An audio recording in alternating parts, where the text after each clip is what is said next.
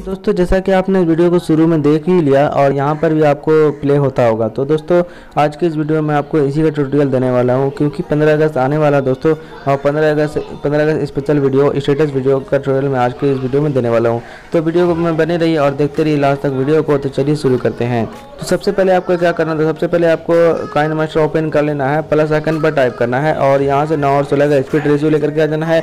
उसके बाद आपको यहाँ से चलना है मीडिया वर्जन। मीडिया वर्जन में जाने के बाद यहाँ से आपको सिंपली चलना है स्टोरेज में और जो भी आपका स्टोरेज में रखा होगा फ़ोटो आपका, वो किसी भी तरीके का फ़ोटो होना चाहिए, वो आप यहाँ पर लेकर के आ जाना है आपको। ओके दोस्तों, मैं सिंपली लेकर के आ जाता हूँ।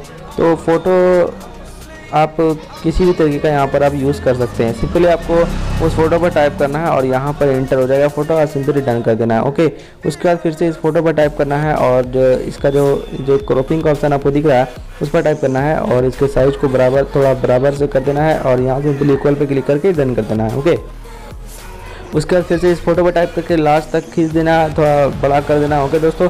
उसके बाद वीडियो के शुरू में आना है और सिंपली लेयर में जाने के बाद लेयर में जाना है मीडिया में जाना है और यहाँ से एक वीडियो का लिंक आपको वीडियो डिस्क्रिप्शन पार्ट में मिल जाएगा। इसी वीडियो डिस्क्रिप्शन पार्ट में उसको सिंपली डाउनलोड कर लेना है और यहाँ पर लेकर के आ जाना है। तो मैं सिंपली लेकर के आ जाता हूँ। ओके जैसा कि मैं वीडियो यहाँ पर लेकर के आ चुका हूँ दोस्तों सिंपली आपको ये वाला ऑप्शन आपको दिख रहा होगा स्क्रीन पर। इस पर टाइप करना है और इसके साइज़ को फुल कर देना है। उसके बाद बैक आ जाना है और यहाँ पर बहुत सारा ऑप्शन आपको दिख रहा होगा। नीचे आपको आना है ब्लेंडिंग का ऑप्शन पर टाइप करना है और यहाँ से इसका ब्लेंडिंग मोड को स्क्रीन पर टाइप करके ओके कर देना है। ओके ताकि ये जो ब्लैक स्क्रीन आपको दिख रहा है, वो गायब हो जाए। ओके दोस्तों उसके बाद वीडियो का शुरू में आना है। लेयर में जाना है, मीडिया में जाना है।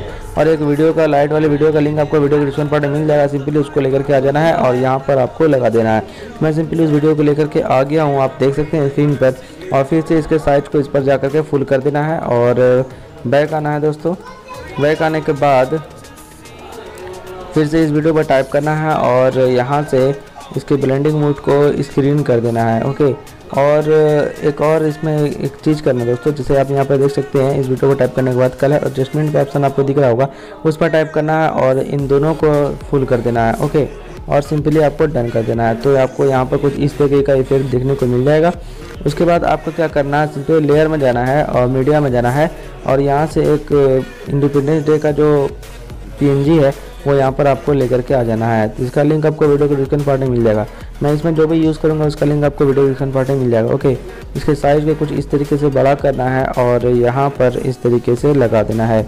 और ओके पर क्लिक कर देना और इस पर क्लिक करने के बाद लास्ट तक लेकर के आ जाना है ताकि वीडियो में कोई भी कमी ना हो लगे। ओके दोस्तों?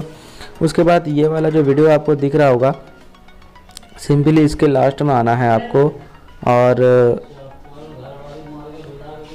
ला, लास्ट में आना है और वहाँ तक ही आपको सारे वीडियो को रख देना है ओके तो इस पर टाइप करके मैं यहाँ पर सिंपली इसको कट कर देता हूँ।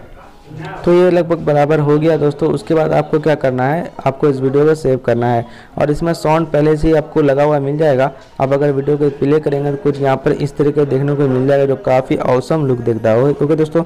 उसके बाद वीडियो सेव करने से पहले इस ग्यारह पर क्लिक करना है और यहाँ से ऑडियो फेड आउट को बंद कर देना है ओके ऑडियो फेड को बंद करने के बाद सिंपली आपको इस वीडियो को सेव करना है। सेव पर क्लिक करना है दोस्तों, और यहाँ से अपने हिसाब से रेजोल्यूशन को सिलेक्ट करना है और यहाँ से सिंपली एक्सपोर्ट कर देना है।